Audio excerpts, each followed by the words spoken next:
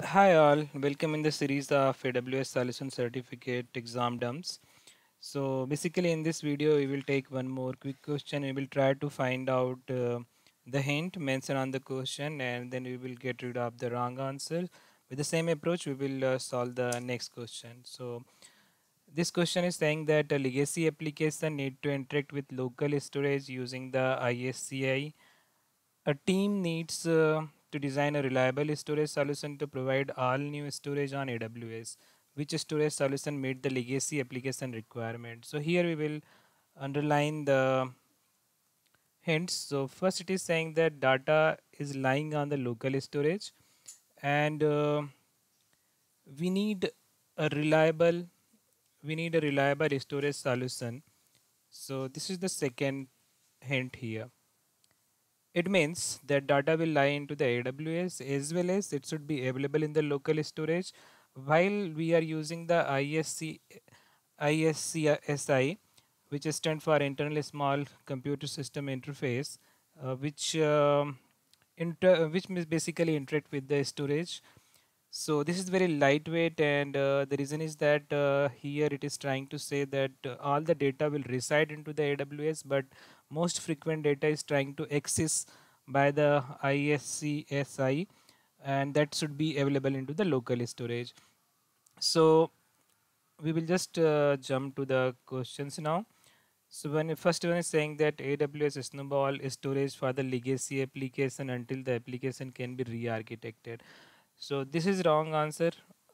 Basically here it is trying to say that data must be available in the local storage as well as into the AWS storage. The second question is AWS storage gateway in the cached mode for the legacy application storage to write the data to Amazon S3 so yes AWS storage gateway provides the data into the AWS by using the direct connector by using the VPC and it provides the two mode one is the cached mode and another one is the store mode so these two answer b and c can be right. We will jump to the option d and uh, we will come back to the option b and c. So an amazon s3 volume mounted on the legacy application server locally using the file gateway service. This is wrong answer. Uh, this cannot be done. Basically here it is trying to say that uh, all data will be resided into the s3 volume while it is hint is saying that data needs to be available on the local storage. So the first uh, we will jump to the option B where it is saying that uh, using the cached mode so in the cached mode basically it provides the lower latency and in that uh, cached mode most frequent access data will reside into the local storage and whenever the data is not available into the local storage the AWS storage gateway can provide the direct connectivity which will bring the data into the local storage and uh, it will uh, help uh, to ISCSI to not managing the lot of data and it will increase the performance. The third one is the store mode, but store mode is like uh, backup plan for backup plan.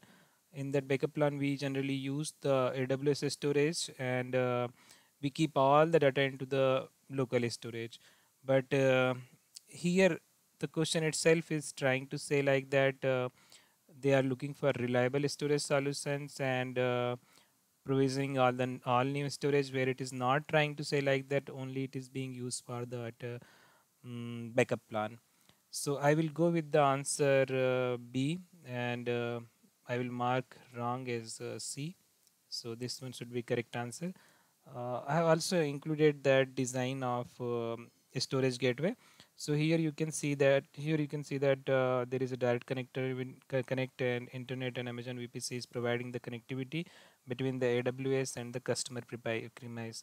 As per the question, data needs to be available into the customer premise, and uh, the storage gateway is helping to upload or download the data from uh, AWS storage.